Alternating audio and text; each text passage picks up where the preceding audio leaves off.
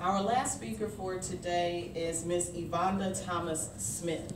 She is current, she currently serves as the Director of the Evanston Department of Health and Human Services, which she joined in 2005. She has been an executive public health administrator and public health nurse leader for over 25 years. She has successfully solicited alliances to open the first public um, private collaborative and established a federally qualified health center for Evanston, Illinois. She earned her bachelor's degree in community health and nursing before pursuing a master's degree in nursing at Governor's State University in University Park, Illinois.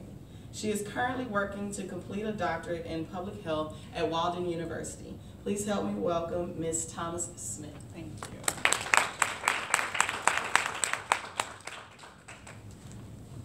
Okay, so it's always hard to be the last speaker. Um, sometimes it's difficult because you all have been sitting so long. So I'm just going to ask you to stand so we can get some energy in the room. More energy. We've had fantastic presentations, um, fantastic presentations with robust information. Um, and so we just want to kind of get some energy in the room because I'm going to shift the conversation and talk about access to care.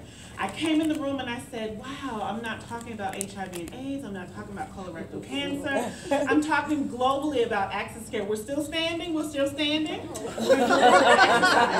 so yes, I am a nurse by education and I just love talking about what I do. I love public health. I've been in public health since the first day out of undergrad. And even though my professors told me as a real nurse, you have to work at the bedside. Well, I am a real nurse and I don't work at the bedside. So we're gonna put our arms up to get some energy up high, high, high, and we're gonna wiggle those fingers. Then we're gonna give energy to our partners next to us and stretch your arms out.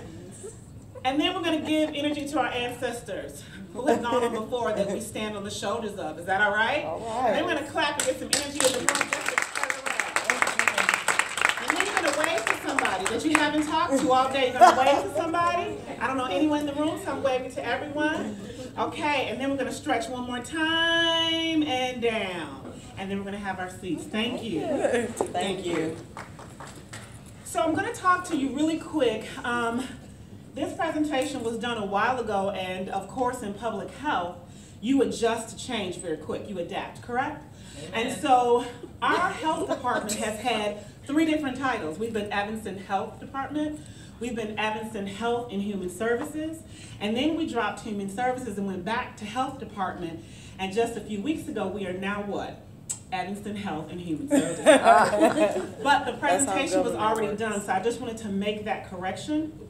I want you to know that our mission at Evanston Health Department is to protect, preserve, and promote wellness for people who live, work, and play in our borders with creative, sustainable partnerships. And historically, the health department has taken care of people in crisis. We've been considered safety net providers, and we've been considered the provider to take care of vulnerable populations. When they recruited me from Chicago Department of Public Health, they said, we want you to shift the messaging. And I said, I don't see myself as just a health director. I see myself as like a surgeon general. That means I look across all of the landscape and I make sure that all live in optimal wellness. Those who are in crisis, those who are vulnerable, but then those who are maintaining their health as well. And there's a measure of optimal wellness that they can dwell in. So I'm that possibilities kind of person. So when they saw me coming, they knew who I was, okay? And so I wanted to kind of frame that because every health department is different. If you've seen one health department, you've only seen one health department. And so I wanted to make sure that we're clear where we're going. Also, because Evanston is a transient community in some regard, we have a university there, as you know. That would be Northwest University. So I am a church girl, so we participate. Okay, so I may have a call and response. Is that okay? That's All right. All right. I know I'm the last speaker, so I'm trying to engage your energy and engage your attention, okay? Um, because we have a transient community at times, because we have students come in and out of our jurisdiction, and I consider the students at Northwestern University a part of my residence, we shaped our mission to include those who live there, work there, and play there. And that is the reason for us to have a more global perspective. what people don't know and what I didn't know, being from the south side of Chicago, I didn't know Evanston had a health department. I did not know that. I had to Google it to um, get directions to do the interview. But Evanston Health Department has been was organized in 1874. We were there before both of the hospitals that dwell in my jurisdiction even existed. And so this is just a historical perspective of when we started public health nursing, when we shifted to vision and hearing, and then when we provided primary care.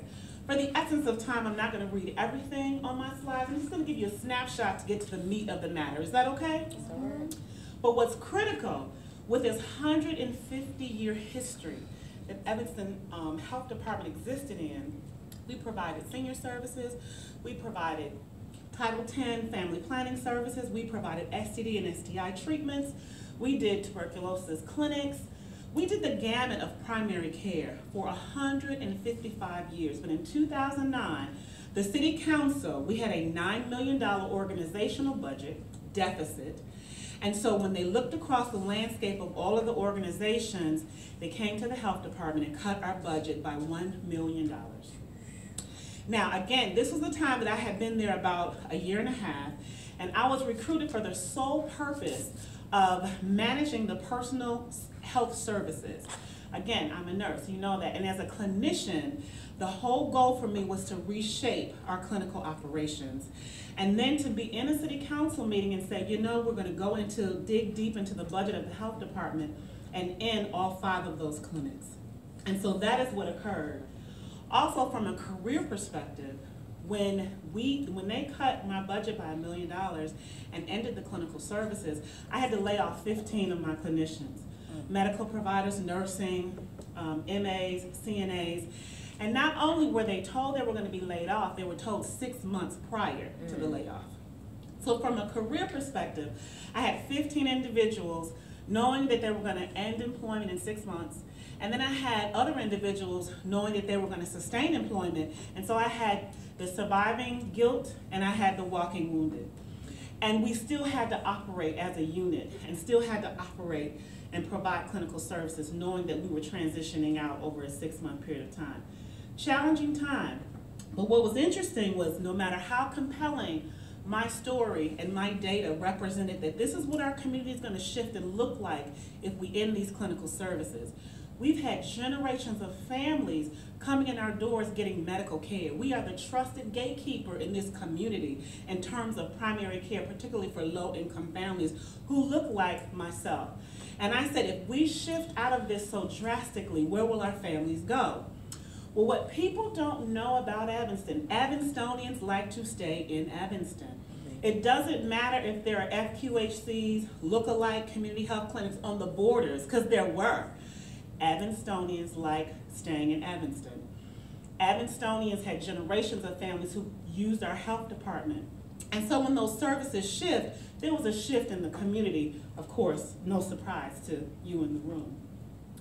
So we had to create an action plan. So the mayor, Mayor Tisdahl, to her credit, came to me and said, Yvonne, you've been sharing data with the city council, and I'll share later with you the significant data that was unacceptable.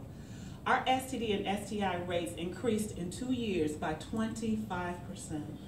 Now, some would say, well, nationally, that kind of looks the same. Actually, our numbers were worse nationally, and our numbers were worse from a county perspective. And Evanston, that was unacceptable. But when I dug down deep into the data, who did that represent? It represented our 14 to 19 year olds, primarily young girls of color.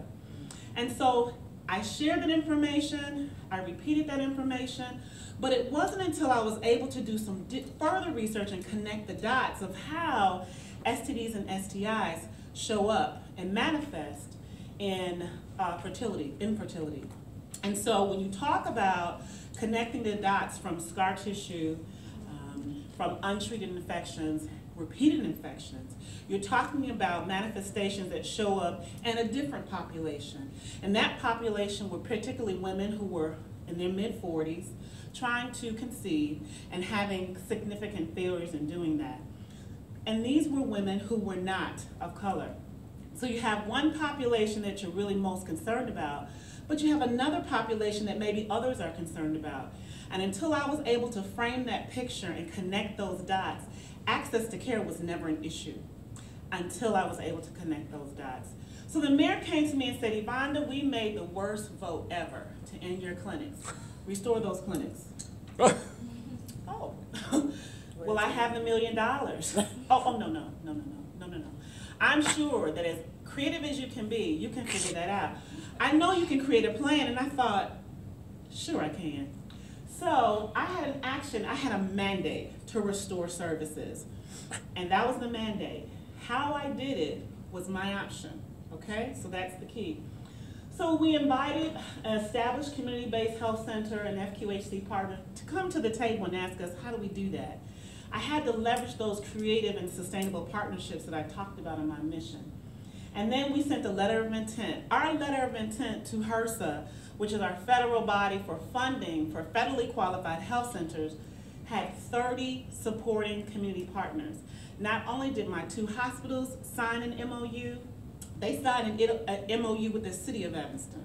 So we had a governing municipality that led the charge to establish our first federally qualified health center. And the reason why I say that is because Evanston is perceived to be incredibly resource rich, and we are, but there is a gap of need that you have to justify to receive federal funds.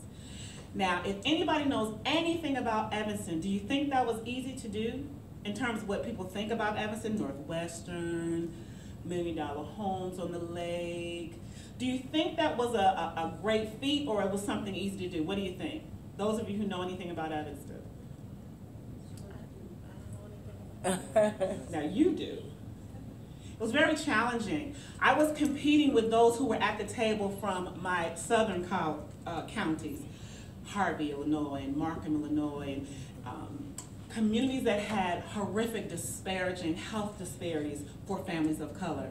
And then Evanston had this little window of opportunity that there was a little niche in Evanston that was still considered medically underserved um, and medically underserved by professionals.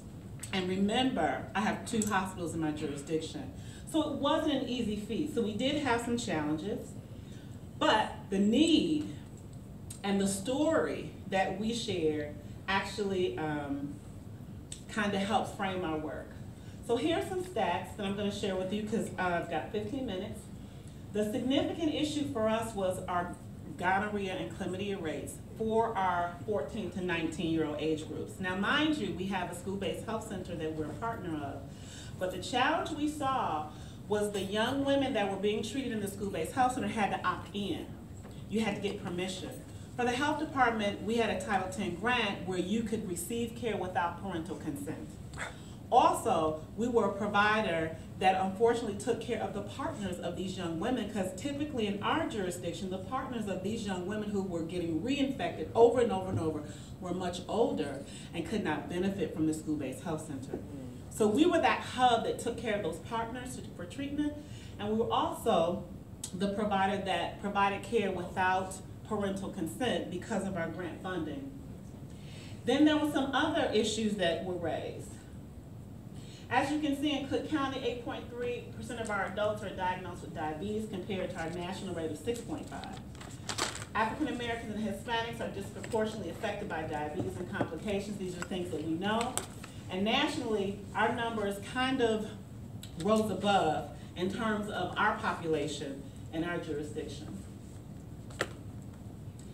And in terms of oral health, we see this nationally as, I'm sorry, nationally as well that 20% of suburban residents reported they could not afford a dentist in the last 12 months, and low-income residents wait up to four months for a routine dental appointment and a year for restorative services, if at all they engage in these kind of services. So our capital campaign started in November of 2010, and what we said was the health department has never marketed and raised money. That's not what we do. That's what some of my nonprofit peers do, and they do that well. We took the nonprofit model of some of our partners and established a capital campaign, um, a capital campaign for our health center. So I went to the hospitals, and the CEO of the hospital, who is a good friend of mine, dear friend of mine, he said, I want to help you, Evonda, but you've got one ask. You've got one ask, we'll raise this capital money, but you can't come back for more money. He said it eloquently, but that's basically what it was. And so that one ask gave us two point eight million dollars. Oh, okay. And we were able to raise the capital, the capital campaign, and we got about three point three million dollars. But the edifice that we erected in Evanston was five million dollars. And don't families deserve that kind of commitment? Mm-hmm. So our community, ba- thank you. Our community-based health center is located in the city of Evanston, but it's operated by Erie Family Health Center. Our hospital partners are North Shore Evanston Hospital and Resurrection St. Francis, which is now Presence Hospital. Our civic partners were the city of Evanston, and they projected to care for four thousand patients, and we're already up to fifty-five hundred patients. They've been open for two years, and they started in our borders at the health department because we knew if they were in the health department, families are used to coming to us as their site, and that they would instantly gain some level of trust. Because again, when new partners come into our borders, Evanstonians are kind of, um, skeptical. And because they were in our borders at the health department in the basement of the civic center, it built in some inherent trust. And now they live and dwell in their own operations, which is about mm, maybe a, a mile or two from the civic center health department, and they're independent and operating on their own. So we're clear that we were a part of a system, and until we shored up the public health system, not just take on medical services, not just reestablish primary care, but really build the infrastructure of the system, that was the only way that we were going to be able to really address access to care. Now, Erie Family Health Center does have primary care, behavioral health services, as well as dentistry. And these were all needs that we identified through our community health assessment and through our community health improvement plan. So Erie has been a fantastic partner, but it wasn't until we began to have the conversation um, to reestablish our services for our families of color. When you primarily walk into the borders of Evanston, uh, Skokie Health Center, you will see many, many ethnic groups, many, many uh, families that were out of care um, for over three years because, as you know, when when providers uh, close up their doors, we started to see an increase in our ER visits, an increase in community benefit, which are relative to our taxpayers' dollars. So you have to frame the story. You can reduce your community benefit and get better frag better care and not provide fragmented care for families who deserve holistic presentation of care. So basically, I think that's my last slide. Um, I do kind of talk quickly because I get excited, um, but this has been meaning meaningful work because I will tell you, I reached out to peers um, across several counties and they said, Yvonne, you don't want to do that. And FQHC will take you about 10 years. You'll never see your vision. You'll never see it come to life. You'll never get the funding. I will tell you the first application we did submit, HRSA said, this is approved, but there's no funding. And so I said, so now that I know that I have a quality application, and mind you, I'm not, I wasn't really known in Washington. We didn't make the right context in Washington. And so they said, well, leave your application in play, and maybe the next year you may get funding. But instead of funding being $650,000 annually, it'll be reduced to 320 annually, because that's the second round of funding. So I told Lee Francis, the president of Erie Family Health Center, I said, you know what? When a Super Bowl football team goes out on the field during Super Bowl, somebody knows that they're going to come home with the ring, right? I said, bring me the ring. Bring me the ring. And so I was in Denver, Colorado at a conference, and I got a phone call, and the first voice I heard was Dr. Lee Francis saying, I got the ring. Mm-hmm. And that's because he got the letter that not only did we get approved for funding, remember I told you the second round of funding is 320. We got approved for the full $650,000 annually. And so, the, uh, as you know, a federally qualified health center is supported um, federally, operationally every year. So we don't expect our doors to close. The need is there. The families are happy. They're getting the services they, they deserve. And then, of course, with the Affordable Care Act, we're expanding our services and pro providing more service. So on that note, I'll end. Do you have any questions? Because I have five minutes left. And I'd love to entertain questions. Yes. Um, I I thought that was an excellent presentation. The first that you went under, were you part of the, did you uh, submit your application under the um, ARRA funding? In two thousand nine, the uh, American Recovery Act, they put out that two billion dollars in funding. Yes, we did. And the application, again, was approved and not, they ran out of money. Um, and we were asked to leave our application in place. Now, there was some political nuances that we had to work. Our mayor did go to Washington a couple of times and sit with Senator Dick Durbin and uh, Congresswoman Jan Schakowsky, who have local offices in Evanston. And so there was some um, introductions that needed to be made because again, we didn't have that connection. We had never had a federally qualified health center in Evanston. And I had senators emailing me directly saying, Evanston, you don't need anything in Evanston. You know, because there was not a justification of need. But you and I and everyone in this room knows that as affluent as your area may be, there's always a pocket of families who fall under the radar. Um, and twelve percent of our population, which is seventy-five thousand, live two hundred percent below the poverty line. Twelve percent. And that is an unacceptable number for me to not address. So thank you for your question. Any other questions?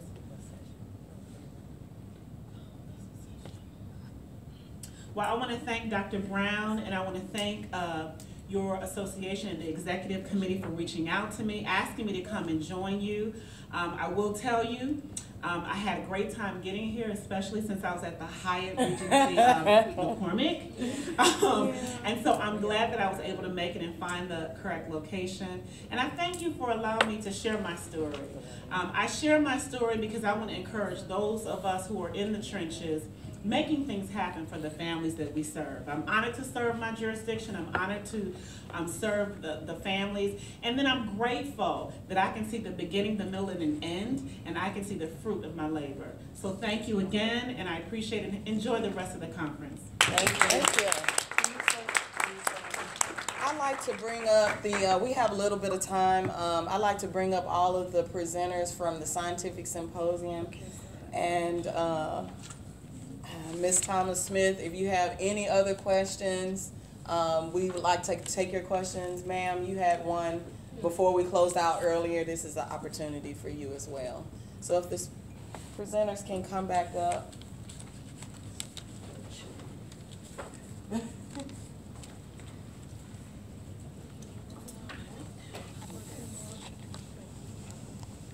Again, thank you all for participating um, in the scientific symposium and um, Ms. E. Thomas Smith for your presentation as well. I thoroughly enjoyed it and it obviously gives um, those of us who are still growing in public health some hope. I mean, we all hear about the corruption in the Chicago and Illinois area, so it was very encouraging to hear that despite all of the um, obstacles you had um, through, you know, in, in getting the health department back together, that you were able to do so. So thank you for that. Thank you. Ma'am. Uh, on the HIV question, um, with regard to uh, the African Americans not being uh, as quickly informed or as well informed about PrEP and PEP, I was I was wondering in the in the slide that, about the people who were actually under ART therapy, there was a considerable difference in that clinic between the people who actually were on treatment in the African American group. And I wondered if that could have accounted for a lot of the difference. If you look, I know in our clinics in Maryland, we've had, there's always some people who are in denial, they don't take the treatment, or they are hard to find, or they, you know, like you say, fall out of care and then come back into care. And to me, that population may be a group that could be targeted to particularly work on in terms of getting them familiar with social media, with some of the information that, that people can get, because they're really a tough population, but if you could break, but you have them, you know, they are coming to the clinic, but they, there may be something else holding them back from really engaging with the information that's out there. So that, that is a great point. So, like I said, so the individuals who were, who, so we asked, are you currently on ART or have you ever taken ART? Um, and so we were, we're going to look at adherence um, as well. So for that, it's, it's, it's a great point. So somebody who reported no to currently being on ART or ever being on ART could have been newly diagnosed. And so they're going to be different in, in information that they received on PrEP from a provider in a previous, um, doctor's appointment, um, you know, individuals who've been coming for a long time compared to somebody who's just coming in for the very first time for any contact with that physician, so absolutely. Are there any other questions for our presenters?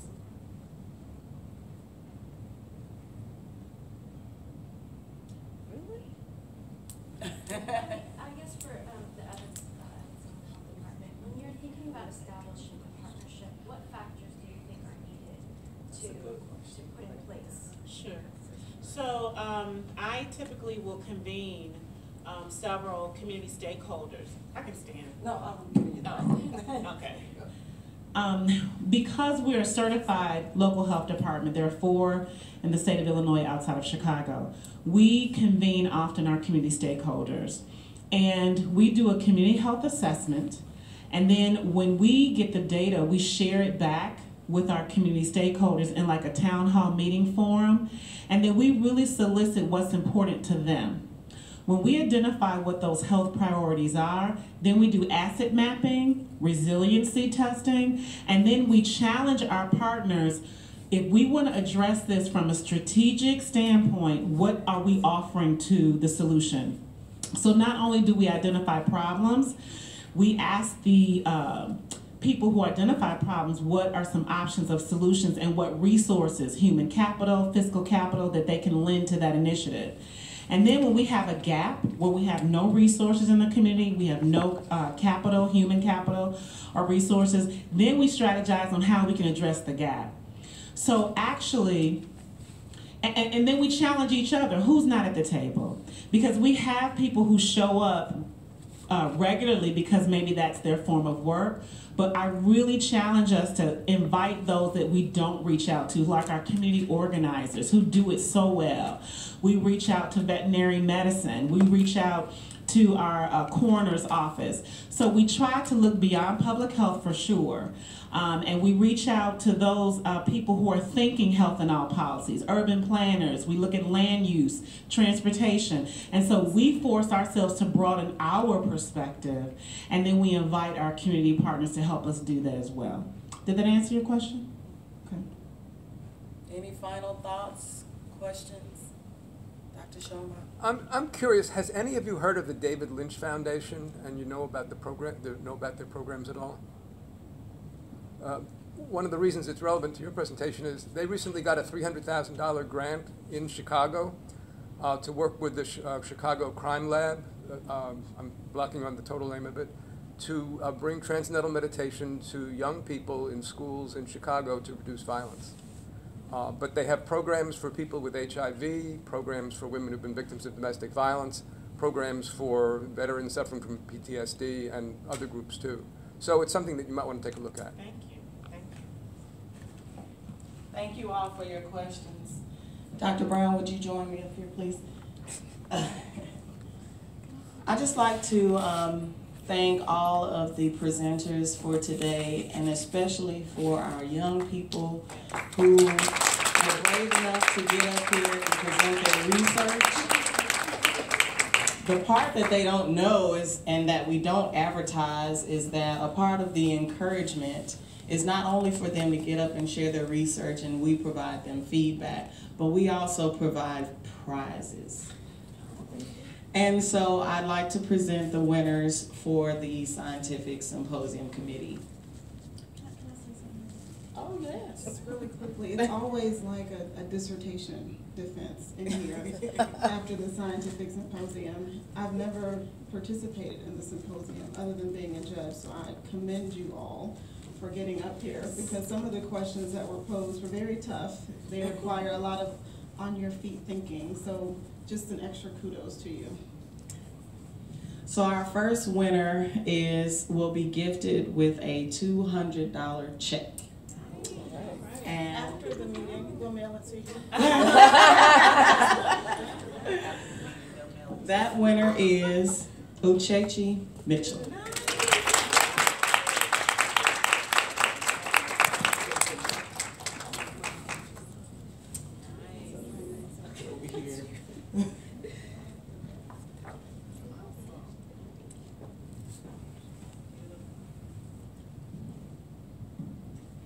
Our second place winner will be gifted with a $100 check, and that is Al Denise Ewing.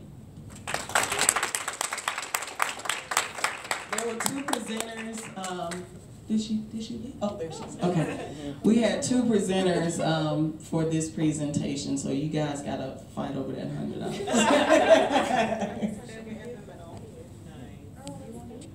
No, because I didn't present. Have them move over to the left, go to the This way. screen. You've got the screen, yeah. good, Yeah, good. move in front of the, there yeah. Thank you go. Thank you. And our third place winner is Courtney Maya Hoffer.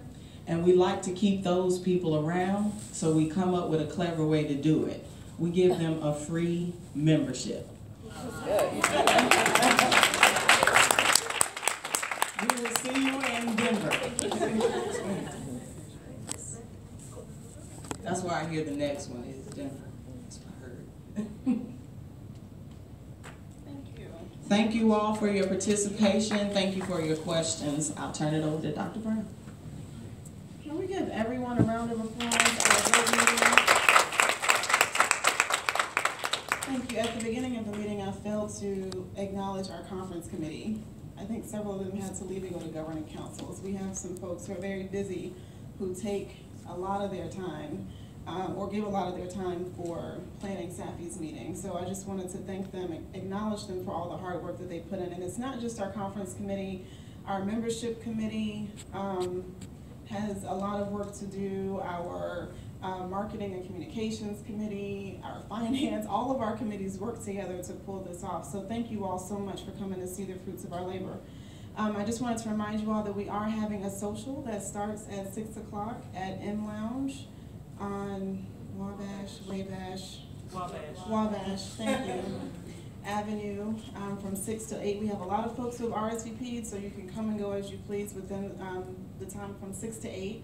We also have our mentoring roundtable. It's not too late to register.